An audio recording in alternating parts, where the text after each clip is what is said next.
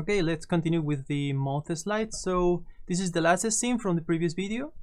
So I'm just gonna get here and get rid of the rig. And now that I have my geo root here, I'm gonna keep it, I'm not gonna delete it. So we can use it as a reference for the next uh, part of the guide. So in this case, the guide, it's gonna be very simple to add. We need to add only three three components, three control zero one. So go to shifter, guide manager. And these components are to be set on the root of the guide. So I don't want to put it here on the root of the, um, the face, just gonna put it under the guide root. And the reason because we do it like this is because this is gonna be a local rig that works by his own. And we're gonna create these uh, ghost controls that it's gonna be attached on the final rig. So we don't want to have this um, this connected inside the rig right now. Okay, so let's search here control 01. So just going to create the first one. That's gonna be down there. Just move it in the middle of the mouth. Around there. And this is gonna be called mouth slide it's gonna be slide in the mouth and by the way the slide in the mouth is when you you do this kind of thing or like this and it's sliding over your uh, teeth or your face. Skull okay so this is good. Just gonna use circles here. I want joint don't want this uh, mirror behavior yes. Even here it's the center but just say yes. And we'll check. Yeah it's a circle. Good so now duplicate one just put it on the corner of the mouth. Doesn't need to be perfect to be honest. Just around. And I'm just gonna face it so it looks like closer to the tangent of the face. And this is gonna be mouth uh, corner.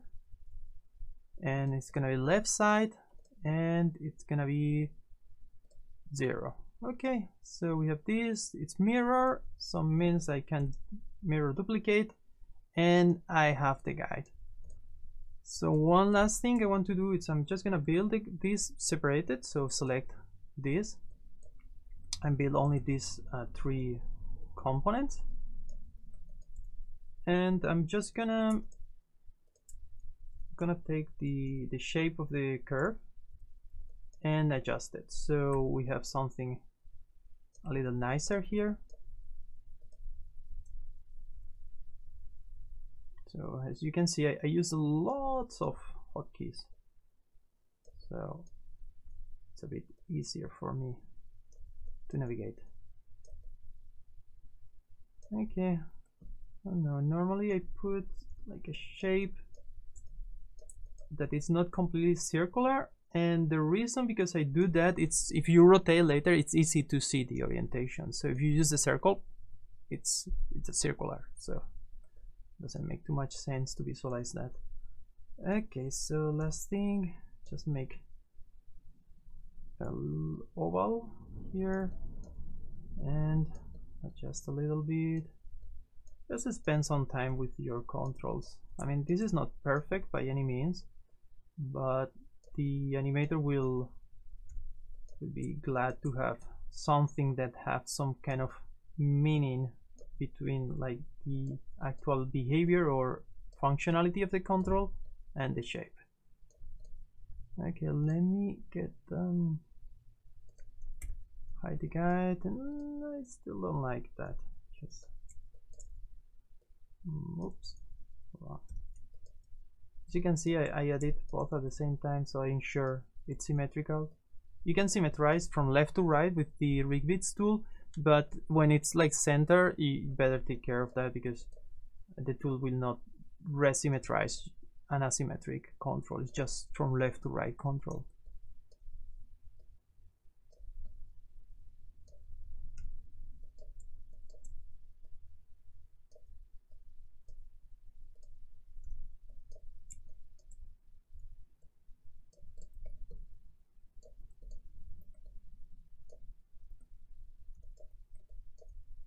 okay I think it's good enough. So select all three and go here and extract controls. So it's gonna be stored here inside the guide. And that's it for this part of the video. Let's continue in the next one